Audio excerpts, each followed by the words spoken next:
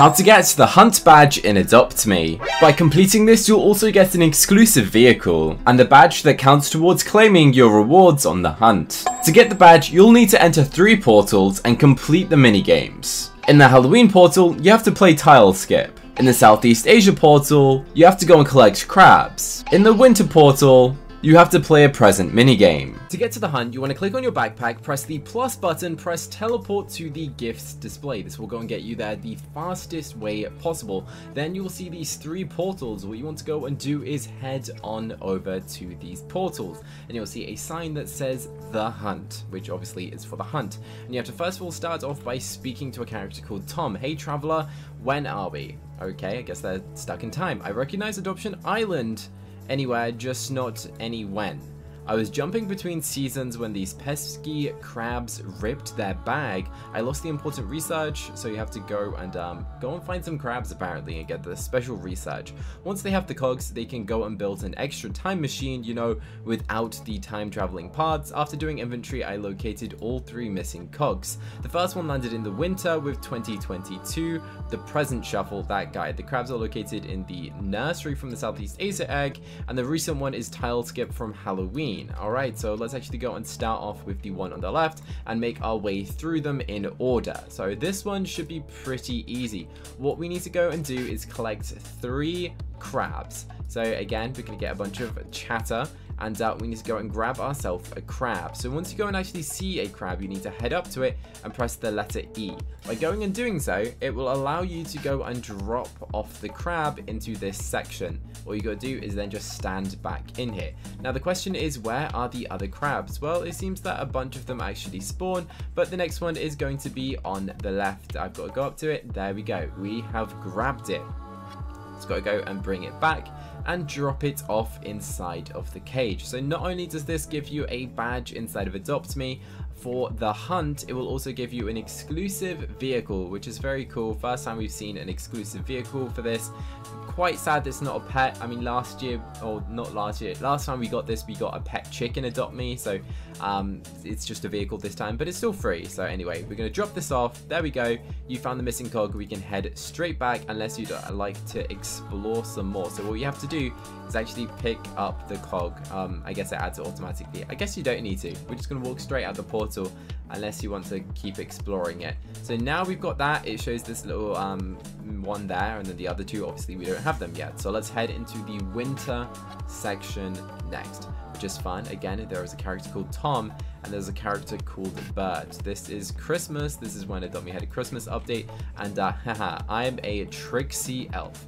You want the time machine pack? You will have to beat my game. All you have to do is keep your eye on the prize. This game is called Present Shuffle. Basically, I believe the item is going to be put under one box and then it's going to all shuffle up and we're going to locate which one it has been shuffled into. Alright, so here are the boxes. What's going inside? Coal, coal, coal. This one. Alright, I'm going to stand where it is. That's going to be my tactic. So those two are coal.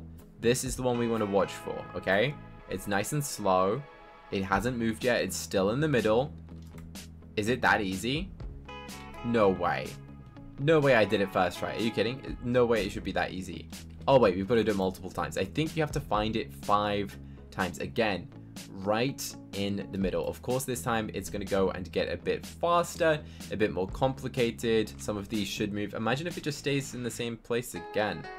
It's literally not moved yet. It's still in the middle. Surely. Surely this one's going to move. Okay, now it's here. Great. That was still so easy. Maybe I'm just really lucky. I guess it's going to be a random pattern every single time for each person. Whoa, another one. Yeah, bro, that was easy. Alright, this one should be harder. If it's not harder, then I actually don't know. The middle one. Alright, it's now here. This is definitely speeding up, but it's still extremely easy. Now it's here. Is that it? Wow, it's definitely this one. I'm a pro. Alright, three out of three. Do we have to do it any more times? Okay, you do have to do this five times. So let's go and do that again. I, this should be getting a bit more hard, but it's still pretty easy. I imagine it's going to be different for each person, but if the pattern is the exact same for everyone, then I guess you can copy what I'm doing. Just tend to keep your cursor over the one that you think it is. Yeah, that one was definitely a bit harder, but again, I'm a pro, so we managed to go and do it. Um, here's your part back. Oh, so you've only got to do it four times, I guess. There you go. You got the time machine part back from Bert. Well done. I can time travel, but I cannot understand him. Let's go out of these freezing temperatures. Okay, let's do that. Let's head back through the portal and um, get this done. Okay, now what we need to do is go into the final portal, which is the Halloween one. Now this is pretty similar to Squid Game, where if you stand on the wrong tile, you're actually eliminated. And there's not really any way to tell the correct pattern. Actually, there is. If you see it wobble, then that means it's the wrong one. So it's definitely not this one, because I just saw that one wobble. So this one? Okay, it's not that one either. Maybe one of these two. One of these two? This one? Oh wow, and it's definitely that one as well. So this means it is the end one. And these can go in any direction. So we don't want to step forward and we don't want to step there. So what we want to do is this, this, this. And yeah, you can definitely see them wobbling.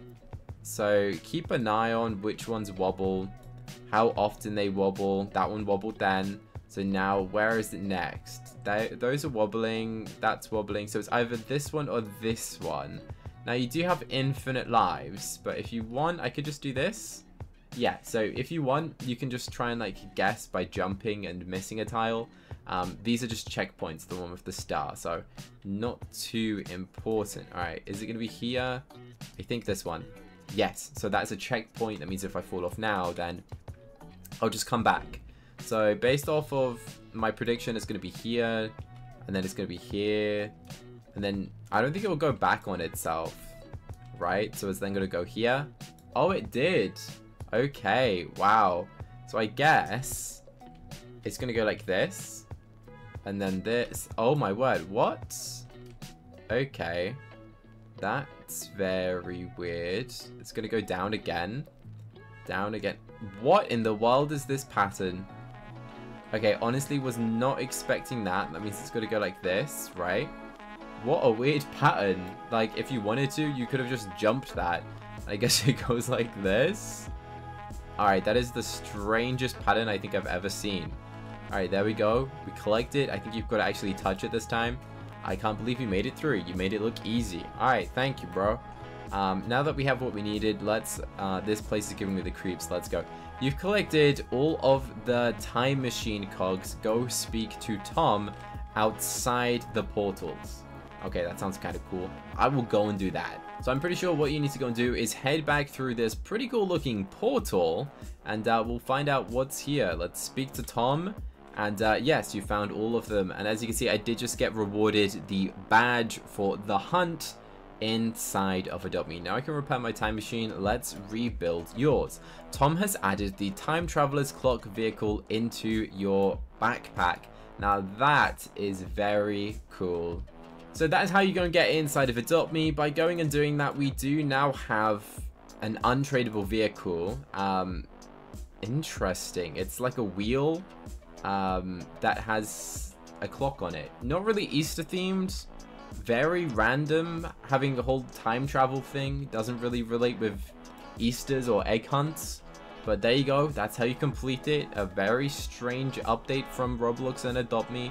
And then you can go and use that badge to go and buy stuff. Like if you collect 5 badges, then you go and claim like some cool little necklace. If you get 20, you get like all of these other things. So it's definitely worth doing. You've just got to play a bunch of different Roblox games. There's over a hundred Roblox games that are participating in this.